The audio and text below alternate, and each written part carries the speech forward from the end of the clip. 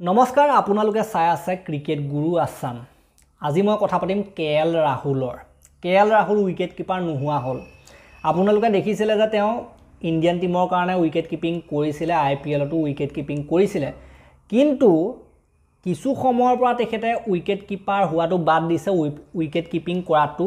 বাদ দিছে ইণ্ডিয়ান টীমৰ কাৰণেও উইকেট কিপিং কৰিবলৈ বাদ দিলে আৰু আই পি এলতো এল এছ জি টীমৰ বাবে উইকেট কিপিং কৰিবলৈ বাদ দিলে। আই পি এলত আপোনালোকে দেখিছিলে যে Quinton de Kock L S zero wicket keeper হৈছিলে। ঠিক সেইদৰে ইণ্ডিয়ান টীমতো বৰ্তমান সময়ত পণ্টক দেখা যায় দীনেশ কাৰ্তিকক দেখা গৈছে ঠিক সেইদৰে ঈশান কিষণক দেখা গৈছে উইকেট কিপাৰ হোৱা আৰু টেষ্ট মেচৰ ক্ষেত্ৰত পণ্ট চাহা কে এছ ভৰত আদিক দেখা যায় উইকেট কিপাৰ হোৱা। গতিকে বৰ্তমান সময়ত তেখেতে উইকেট কিপাৰ হ'বলৈ বাদ দিছে প্ৰায় এৰি দিছে বুলি ক'ব লাগিব।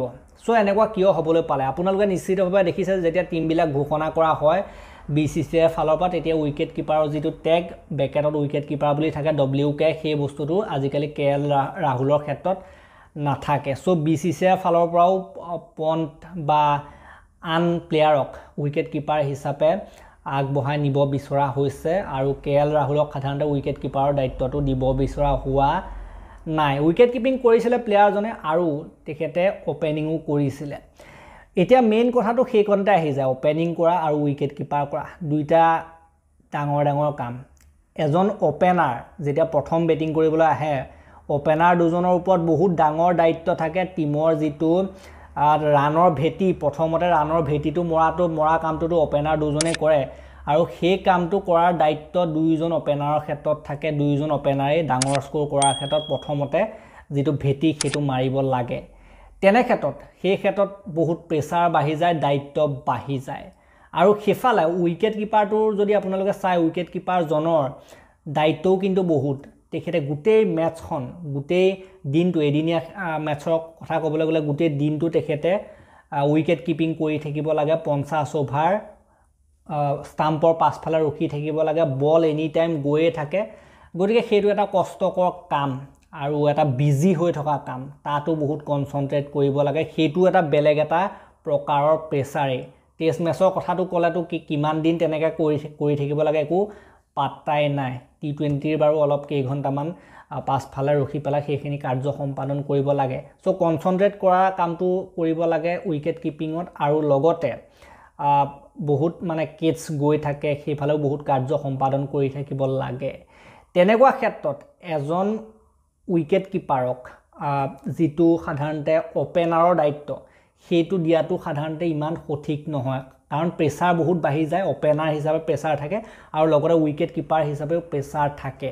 চ' এই কথাটোকে কে এল ৰাহুলৰ ফালৰ পৰা কোৱা হৈছে যে যিহেতু সেইফালেও প্ৰেছাৰ বাঢ়ি যায় সেইফালেও প্ৰেছাৰ বাঢ়ি যায় সেইবাবে নিজৰ বেটিঙত কনচেনট্ৰেট কৰিবৰ বাবে নিজৰ অ'পেনিং অ'পেনাৰ হিচাপে অ'পেনিঙত তেখেতে বেছিকৈ অৱদান দিব পাৰিবৰ বাবে যিটো উইকেট কিপিঙৰ কাম সেইটো প্ৰায় এৰিয়ে দিছে সেইটো তেখেতে বৰ্তমান সময়ত নকৰোঁ বুলি এটা মানে নিজৰ ফালৰ পৰা কৈছে প্ৰেছাৰ যাতে কমে তেখেতে যাতে বেটিঙত বেছি মনোযোগ দিব পাৰে উইকেট কিপিঙৰ ক্ষেত্ৰত ইমান বেছি গুৰুত্ব দিবলগীয়া নহয় বা উইকেট কিপিঙৰ কামসমূহ যদি কৰিবলগীয়া নহয় তেতিয়া বেটিঙৰ ক্ষেত্ৰত তেখেতে ধুনীয়াকৈ ফ্ৰীলি খেলিব পাৰিব। মেইন কথাটো সেইটো উইকেট কিপিং কৰাৰ কোনো টেনশ্যন নাথাকে কোনো চিন্তা নাথাকে কোনো প্ৰেছাৰ নাথাকে। চ' এফালে যেতিয়া প্ৰেছাৰটো নাইকিয়া হৈ যায় তেতিয়া প্ৰথমতে বেটিং কৰিবলৈ আহি এটা ভাল ষ্টাৰ্ট দিয়াৰ ক্ষেত্ৰত মানে সুবিধা হয় কে এল ৰাহুলৰ। তেওঁ সেইটোৱে উল্লেখ কৰিছে তেখেতৰ ফালৰ পৰা যে প্ৰেছাৰ কমাবৰ বাবে তেখেতে উইকেট কিপিং বাদ দিছে। আই পি এলতো উইকেট কিপিং নকৰা হ'ল ইণ্ডিয়ান টীমৰ ফালেও উইকেট কিপিং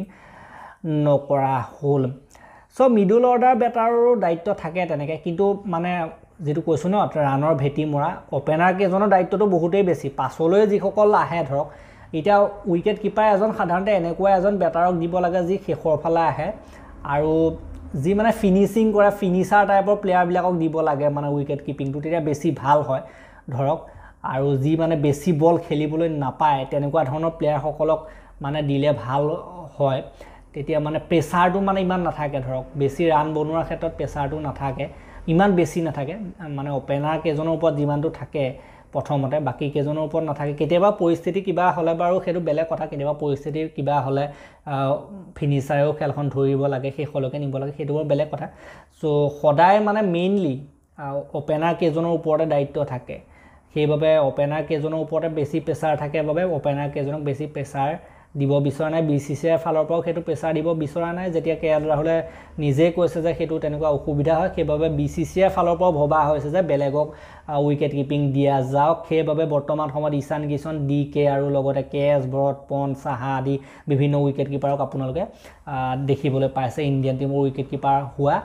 কিন্তু কে এল ৰাহুলক বহুত দিনৰ পৰা ধৰি উইকেট কিপিং কৰা দেখা হোৱা নাই। চ' মেইন কাৰণ এইটোৱে আছিলে কিয় কে এল ৰাহুলে উইকেট কিপিং নকৰা হ'ল উইকেট কিপাৰ হোৱাটো বাদ দিলে।